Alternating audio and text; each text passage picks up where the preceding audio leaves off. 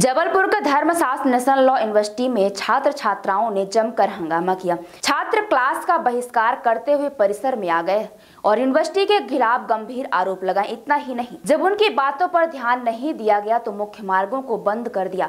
सूचना मिलते ही मौके पर सिविल लाइन थाना पुलिस कामला पहुँचा और छात्रों को आश्वासन देकर समझाने में जुट गया। हंगामा कर रही छात्राओं ने यूनिवर्सिटी प्रबंधन पर संगीन आरोप लगाते हुए कहा कि यहाँ पर गर्ल्स छात्राओं के कपड़ों को लेकर प्रशासन अनावश्यक टिप्पणियाँ करता है, जिसके चलते छात्राएँ अपने आप को सुरक्षित महसूस नहीं करती हैं।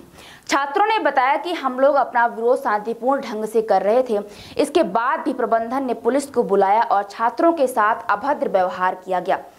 हंगामा कर रहे छात्रों का आरोप है कि परीक्षा के ठीक एक दिन पहले अटेंडेंस कम होने पर पचहत्तर सौ रुपए की मांग करना, बिना कारण बताए छात्रों को छात्रावास से बाहर कर देने जैसे कई घटनाएँ हो चुकी हैं। यूनिवर्सिटी प्रबंधन ने बिना कारण बताए चालीस हज़ार रुपए की फ़ीस बढ़ा दी है। पहले जो फ़ीस दो लाख रुपए की थी यूनिवर्सिटी प्रबंधन के द्वारा महज आठ से दस दिन के भीतर दो लाख इकतालीस हज़ार रुपए जमा करने की हिदायत दी गई। साथ ही कहा गया कि जो भी छात्र समय सीमा पर फ़ीस नहीं भरेगा, उसे पाँच सौ रुपए प्रतिदिन का दंड भी देना होगा।